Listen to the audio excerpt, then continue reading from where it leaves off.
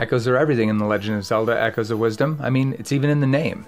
There are tons of echoes out there for Zelda to learn, but here are a few we found most useful in the early game. Number 1 Old Bed. Don't underestimate anything you get in the tutorial. Case in point, the Old Bed Echo is one of the most useful tools for getting around. It's far more handy than the simple stool as you can create staircases by staggering their placement by one tile. You can also create one-way staircases in tighter quarters by alternating between left and right.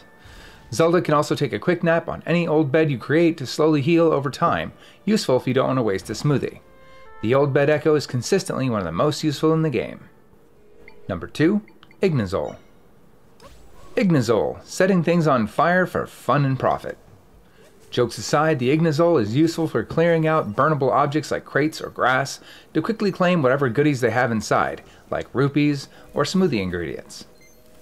While the monster is very weak, Zelda can throw it at any enemy to quickly set them on fire for some extra damage over time. The Ignizol is a humble creature, but don't forget to give them the spotlight anytime you see an unlit torch. Number 3. The Rock. When in doubt, start throwing stuff. While it may be low damage, the simple rock is reliable. You might say it's your rock. If you don't have a monster echo that can take care of foes, summoning a rock is always a good backup option. While they don't break after being thrown, you can just summon another one rather than going to get the other. The rock can also be used to hold down switches or crush crates when dropped from high enough. Number 4. Flying Tile. See a small gap you can't quite cross? A switch across the room you don't want to walk over and hit?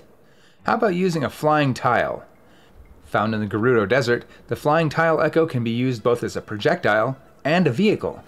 Once summoned, it'll fly in whatever direction you're facing after it ascends.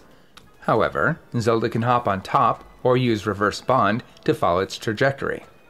It's not terribly useful in combat, but it can break a lot of puzzles, especially once you can summon echoes from a distance. Number 5. Plat Boom. Plat Boom will break the entire game wide open. Also found in the Gerudo Desert Caves, you might not initially think to kill these enemies or that you even can. While it may take some time, learning its echo will reward you with a portable elevator, allowing you to ascend pretty dang high. The Plat Boom is a bit too tall for Zelda to jump on, but placing a bed right next to it will allow you to board. In combat, the Plat Boom can instantly crush any enemy below it not dealing much damage but stunning them for quite some time. It may be an expensive echo, but it can at least let you skip a lot of puzzles, encounters, and roundabout routes. These are 5 of the best early game echoes in The Legend of Zelda Echoes of Wisdom. What are your suggestions? Let us know in the comments and don't forget to like and subscribe to get the like and subscribe echoes, of course. I'm Ben Ron Burke for Gaming Trend. Thanks for watching and stay safe out there.